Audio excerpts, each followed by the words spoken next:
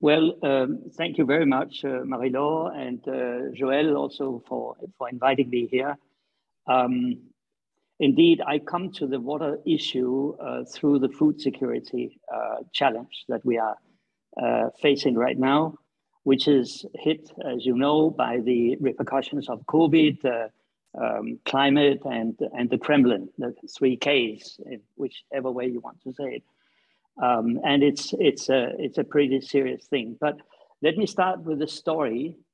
Um, my great grandfather in the village uh, that uh, he was living in actually was the first to create a water plant at village level in uh, my country in Denmark. It's not so long ago. It was in the 20s, 1920s. And it actually created a snowball effect across the villages that every village had to take ownership and develop their water supply. And he was actually so successful that five years later, I think it was in 32, he opened, uh, together with his uh, uh, peers in the village, the first public swimming pool. Imagine that in a village. I mean, nobody had ever heard about it. And it proliferates. My point is that uh, at the local level, you can push things if you take ownership. And this goes for Denmark, but it also goes for Burkina Faso or Senegal or wherever. That puts pressure on the political system.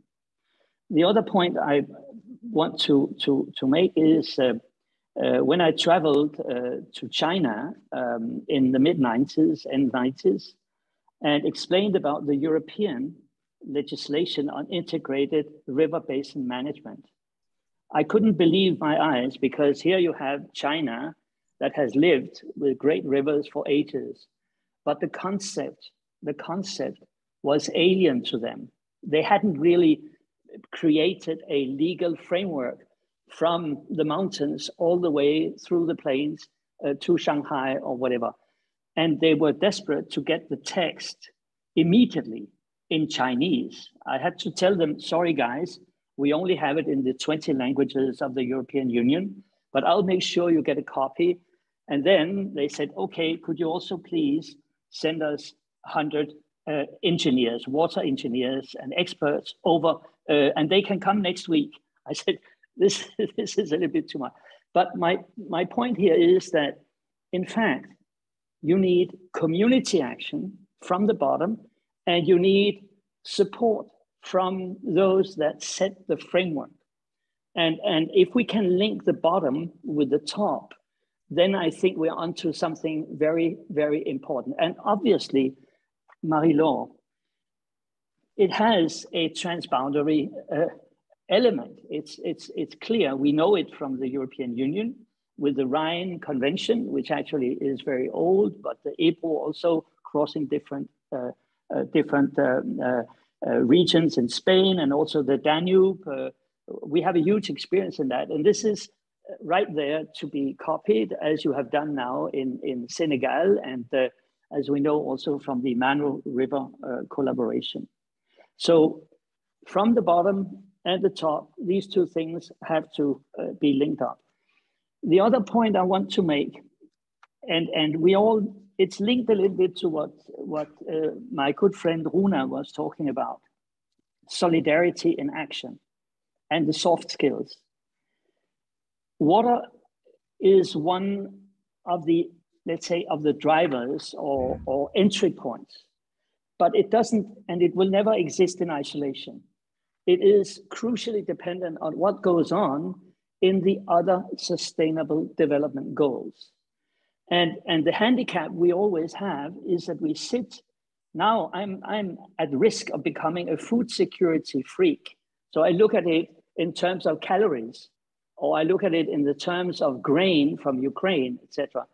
But it's every issue is linked to other issues, trade systems, uh, allocation of national budgets in the Ministry of Finance, innovation policy, justice, etc.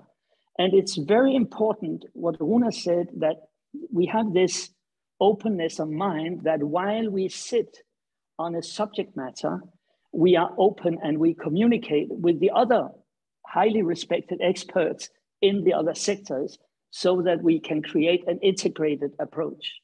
Because just working on, on water without making sure that the legal system is also responding and the transport system is responding and the health system is responding is not going to lead us very far. And I have to say, uh, many, many years of work have told me that the human being has a tendency to become tribal, to become, let's say, hooked up on our expertise. And we are a little bit handicapped uh, in this crucial need to work horizontally across, across the borders. So um, the more we can, let's say, work locally, act globally, cross-border, the more we can connect across the sustainable development goals, and the more we can mobilize the soft skills that Runa was talking about. And I really agree with her. It's very much about leadership at all of these different points. Um, then I, I do believe we stand a chance of making a real difference. Over to you, and thanks for being here.